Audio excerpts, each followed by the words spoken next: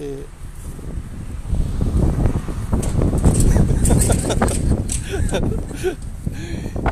えっとね今日ねどうしてもカレーが食べたくなってカレーの材料とかいろいろ買ってきたんですけれども、えー買い忘れたものがあってやっぱチョコレートを入れるとねすごく美味しいんですよ。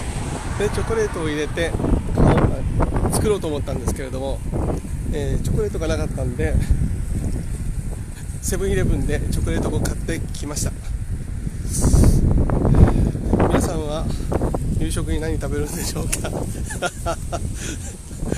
あバナナ入れると美味しいですよ。バナナ。はい。ね。え？あそうそう。生姜。えっ、と以前ねあの島根県に住んでいた時にあれ道の駅だっけ？